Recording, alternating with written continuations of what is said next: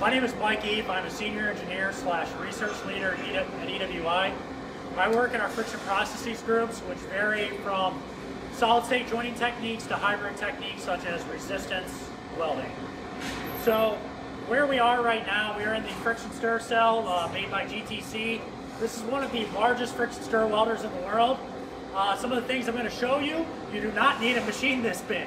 This is just what we have here at EWI. So I'm here today to talk to you guys about friction stir welding and what it is. So friction stir welding is a solid state welding process, meaning that we don't melt the material.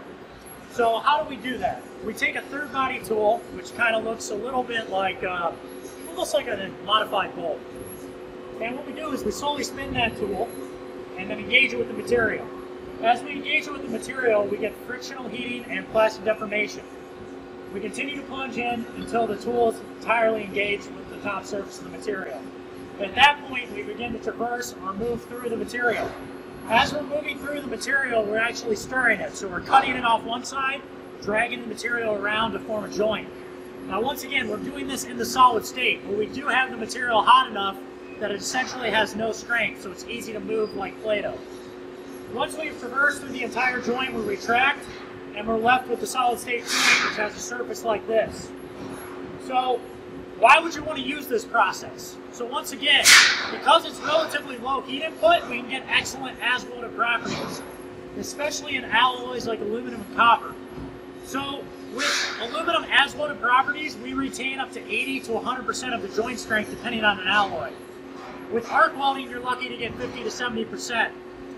Also with friction stir, we can do up to 4 inches thick in a single pass in aluminum. So when comparing once again to arc welding, that's maybe anywhere from 10 to 40 beads, and we can do this in a single pass. Now, we can go very thin as well. So this is a 30 thousandths uh, sheet of steel. That's about our limit in both steel and aluminum. And when we're doing this, we can achieve very high travel speeds, up to 150 inches a minute.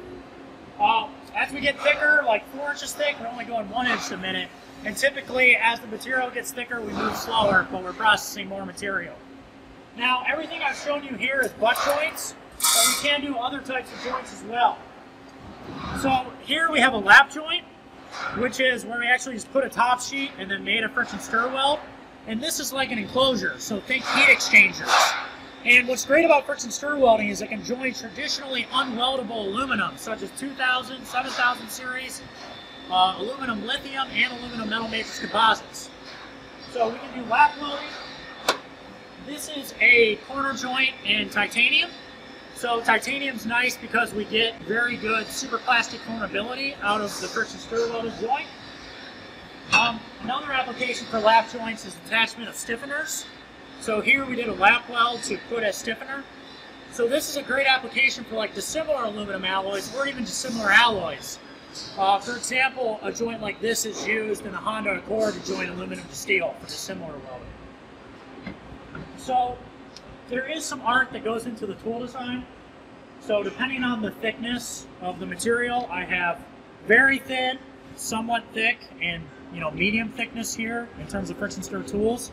Uh, we at EWI here are experts in designing the friction stir tools, so there is some expertise that goes into material selection and design of the friction stir tool. Um, the other area that EWI is a world leader in is hard metals. So we have kind of led the way in joining of steel.